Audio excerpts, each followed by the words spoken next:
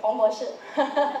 好，其实呢，相信您的关注已经影响到我们非常多的孩子们在生活当中和他们在成长当中呢非常健康的发展。各位亲爱的朋友们，现在呢，我们大家都说众人拾柴火焰高，那么孩子是希望是栋梁，就需要有一定方面的帮助与扶持，这也离不开他们成长过程当中是最重要的一点。今天呢，我们是非常荣幸的邀请到了各位嘉宾来到我们的现场，现在有请他们和大家一一见面。首先呢，我们要把麦克风传给我们的谭庚先生，首先先把我们来翻译一下。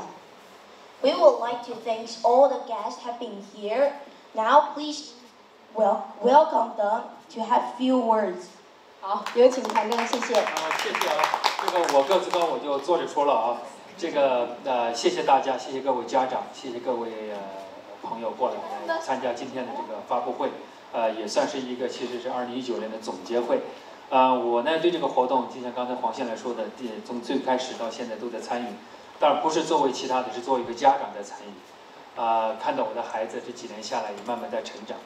所以呢也感到很高兴。那么我觉得这个舞台确实给孩子提供一个很好的一个平台。啊，我们坐在底下，看着台上的孩子在表演，他们展示自己的很自信的一面，不管是跳舞，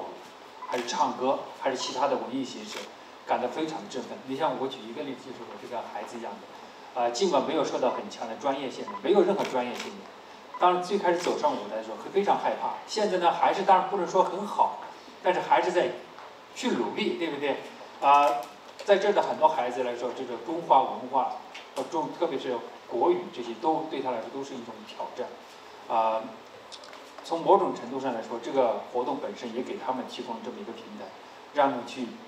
迫使他们去学习一些东西，了解一些文化，了解一些语言，并且把它用舞蹈的形式、说唱的形式和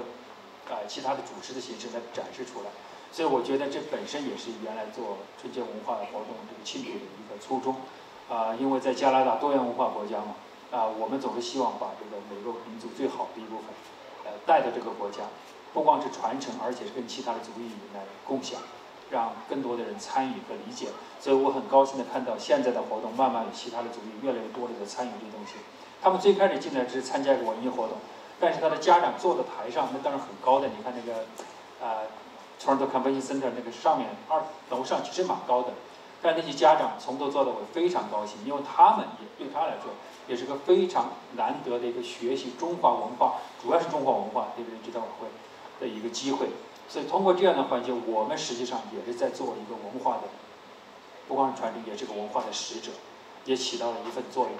所以呢，这个呃非常好的活动。但是呢，我们刚才都说了，这个主持人和廖总都说了，这个活动离不开大家的帮忙。离离不开社区的参与，尤其离不开我们的呃赞助商们几位，啊，从我们的廖总开始，每一年都是赞助的。其他的像我们那个艾玛是坐在那儿来的晚了一点，都是每一年都是做，呃，给我们提供很好的一个赞助。而且今天尤其高兴的是有我们的这个